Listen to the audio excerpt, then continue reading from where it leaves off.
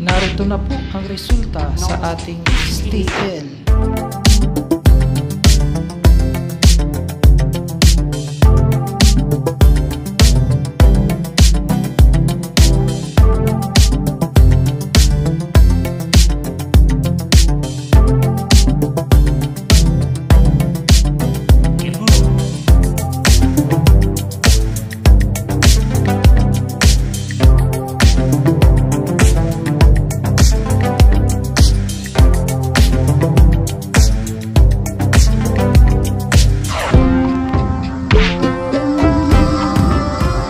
STL Long Mapuso